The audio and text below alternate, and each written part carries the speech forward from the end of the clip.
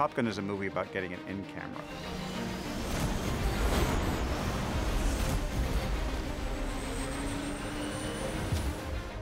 It's such a special project, and Tom really drove home the fact that this movie cannot be made until we have the technology and we have a special story to tell. We are cleared into the area. Verify cameras are on. All right, here we go. Three, two, one. My job is to try to turn storyboards into reality on a day-to-day basis. That's ground photography, mounted camera platforms, whether they're internal or external on the F-18s, we used both. It's helicopter and it's jet-to-jet. All of those things mixed together make the perfect aerial photography, especially for a movie like Top Gun Maverick.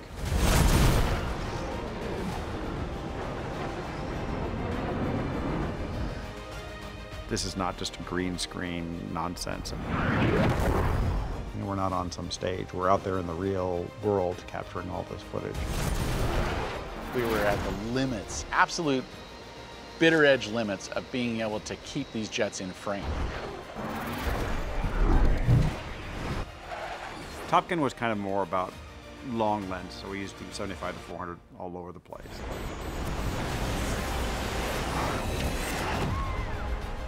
For Top Gun, a majority of all the exterior lenses were Fujinon lenses. All the ground to air, the air to air. We needed all those lengths to shoot the F-18s and the versatility they gave us. By having a long lens, we could build all kinds of great foreground elements coming through the frame. Know, sometimes the producers ask you why you have all these lenses on here or you have this package, why you need all these zooms or whatever it is, but they all have kind of a different purpose, you know, and then when they see all the, you know, the 75 to 400 work and you're capturing the plane on the end of the runway with a doubler on it and it looks clean and it looks kind of magical, they all kind of appreciate in the end. Fuji's work really good with master primes and they cut well with, I mean, on this movie we had everything. Verify cameras are on. Check cameras on. There you go.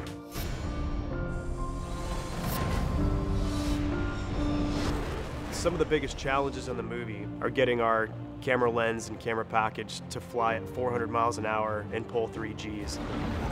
Kevin LaRosa set out and figured out what aircraft he thought would be the best to use, how to get a camera mounted on it, and how to build a team to make that happen. And he did. He delivered the Cinejet. Three, two, one. Turn. Here comes some G's. Shotover Camera Systems had just come out with the Shotover F1 gimbal, and it was the latest and greatest six-axis gimbal. And I knew I needed to put that gimbal on a jet. What I came up with that night, I designed it in Microsoft Paint, just pretty rudimentary. Put a Shotover on the front of this L39, and I said, "That's it. I'm going to build that." About a year, year and a half later, we were in full testing with what we know now today is the L39 Cinejet with a Shotover F1 Rush on the front of it. And that platform absolutely helped us obtain groundbreaking aerials on this movie. It's an L-39, it's a little Czechoslovakian fighter trainer jet. For me, the airplane's a dream to fly because it's very light on the controls, it's very maneuverable, I have amazing visibility all over. The equipment that we used on Top Gun Maverick as far as aerial gimbals is the Shotover camera gimbal. We use the Shotover K1 on the helicopter and we use the smaller gimbal, the Shotover F1 on the jets. Great camera position. The technology now has changed so much. I was the aerial cinematographer on the first Top Gun. So in 1985, when we were shooting the movie, it was periscope systems, very limited to a periscope that would be a 50 millimeter lens and that's it, in a Learjet. Great system at the time, but now with the modifications that they came up with for the F1 to allow it to handle these jet speeds, I mean, it's capable of doing 350 knots and pulling 3 Gs now with this new F1J. It's amazing how that thing flies. And we needed something like that, be able to capture all this stuff and chase the jets. It was the only thing I thought we can almost keep up. Claudio's requirement on the movie that we had to use the Sony Venice, but the full-size Venice. It had to have the recording system on the back. And that lessened the amount of room that we had in here for any particular lens. We had to have that 4K coverage. So the best lenses to put in here ended up being the Fuji 20 to 120 and the 85 to 300. That gave us the ability to shoot wide angle, or with the other one on the tail with the 300 on there, we could push all the way into the 300.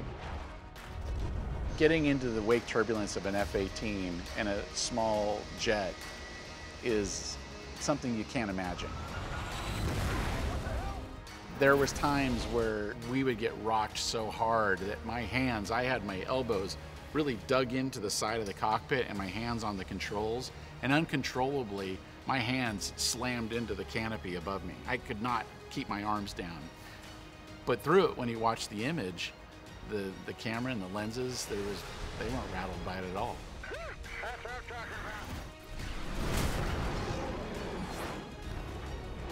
Aside from the L-39 Cinejet on the movie, I also flew a Phenom 300 camera jet. We can fly a Shotover F1 Rush on the nose and the tail. We're flying two Fujinon lenses at the exact same time, two aerial DPs on board, and we were coming away with two different shots. The Phenom allowed us to travel farther. We could load up the two systems, more fuel, travel to a location, film with an F-18 for an hour. He runs out of fuel and goes back. A second one is there loitering, waiting for us. We continue shooting for another hour with him. Then we all travel back. So we were getting three hours of work done with one camera system, and it, it worked fantastic. The Sony Venice camera and these Fujinon zooms were mounted on the nose of a jet. We would literally say to each other, man, we're putting a lens where a lens has never been and probably will never go again. I mean, we were flying these Fuji lenses up these vertical sheer cliffs in the Cascade Mountain Range in Washington. We were pushing to the limits that we were allowed. Simultaneously, I was whipping the cameras around, operating them to the, the extremes the gimbal would allow me to do. Claudio was a little concerned, would I be able to acquire the aircraft having my widest lens only be an 85? Because when I'm in the Cinejet with a lens that long, it's sort of like looking through a paper towel tube and trying to find something out in a blue sky. Come on! Having any fun yet? There's many times we get to an end of a shot and I would come up from the shot and look outside and the whole world was upside down. And I had no idea we were even in that position because I was so locked into the, to the screen. Everybody has asked me the, the jet going inverted and pulling over the tops of those mountain peaks, was that real? And it was. That, that was a real granite mountain that those jets are that close to pulling those types of G's inverted over to dive back down the other side. Not much more to say about how much more impressive could that be. It became an amazing lens to use for building a lot of energy and action. Mike Fitzmaurice has an amazing skill at tracking high-speed targets. He was kind of our secret weapon. Even on the longer end of the lens, when I'm in the camera jet pulling Gs and he's in the back, still being able to operate and acquire those jets. So he did a phenomenal job. It's a team. Many times that it's not just a team, it's like you have a dance partner. Kevin LaRosa is my dance partner in aerial cinematography. And we constantly were putting ourselves right on that edge. The challenge was is to not push too far because we don't want to hurt the gimbal. At the same time, we want to push into those speeds and G-forces to get exciting shots. And we're literally taking that Fuji lens and sticking it right next to those big afterburner cans and I'm saying three, two, one, burner. And these huge burners light up on this F-18 and that thing powers away. Three, two, one, burner. A place where that lens I think has never been before. Got an amazing shot. Four F-18s suddenly appearing over a lake coming around a point. Kevin LaRosa was using some trees to give us nice foreground wipes. And as they're coming through the frame, there's this immense amount of vapor being pulled off the jets, and it almost looks like a sonic boom sort of cone. And a 300 millimeter lens being operated on a remote head like this is difficult. But again, I decided to push myself and put a two-time extender on it so that I had a 50 to 600. And now I could get all the way out on the long end of that 600 millimeter and try and pan with these aircraft at max pan speed of these gimbals.